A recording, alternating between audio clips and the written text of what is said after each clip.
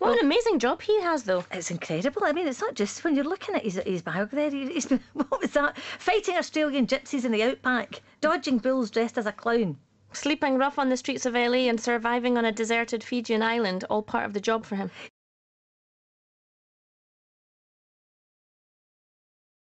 I'm here outside Madonna's house. Guy Ritchie's bike is chained up outside, so he's in. And uh, I'm just going to show you basically that Madonna's a down to earth person. She leaves her house and she walks all the way to her local gym, which is, well, here. Hello, Guy. I don't suppose you mind if I take a couple of pictures on your way out, do you, mate? Uh, yeah, do, do. Okay. Um, What's going on? uh, Guy's just come out of his house. He's unchaining his bike. I thought you just asked me whether I do mind. That didn't go particularly well. He's obviously quite annoyed because we're outside his house. And, uh, you know, he doesn't really want his picture taken. But um, maybe I bottled that a bit. Maybe I should have just hosed him down. It's quite odd because I'm, I'm quite a polite guy and I felt fucking awful just stood outside his house saying, can I take a picture? I was quite demoralised, actually. I felt, I, I genuinely felt really bad. Like, he didn't want his picture taken. I didn't really want to take it. I think that's probably quite an awkward moment. I just got a shot at the back of his arse as he rode off. That's not going to make me any money. Celebrity spot, Guy Ritchie comes out of his house, he's like a sitting duck. And I'm there with my camera, and of course I bloody bottle it. And I, I actually asked him if I could take his picture. Guy Ritchie, can I take your picture? And of course he said no.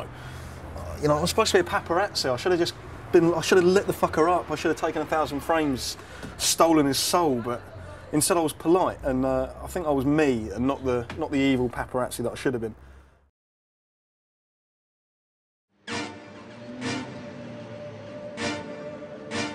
Welcome to Loaded.co.uk. This is the 2007 Loaded Laughter Awards with Nivea for Men. I've won funniest man, Yeah. which uh, which is which is lovely. Really. I don't quite know how it worked because I was in a category with Alan Carr. That's right. He's the funniest man in the world.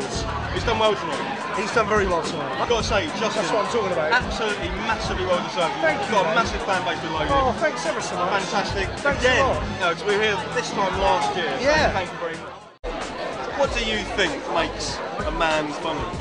A man, obviously a good sense of humour. Have you got a favourite chat-up line?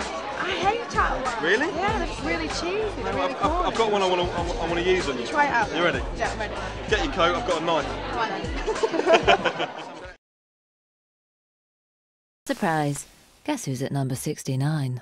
I think my all-time favourite sex symbol has to be Abi Titmuss. Hi, I'm Abi Titmuss. She's sexy. We know that she's great at sex, and she shifts copies. Abi Titmuss was simply John Leslie's girlfriend. She was in the background of the photographs when he was in all kinds of trouble. Someone spotted her, and within long, she'd done a magazine feature. Then suddenly, she's on the front cover of Loaded magazine, and she's a massive superstar.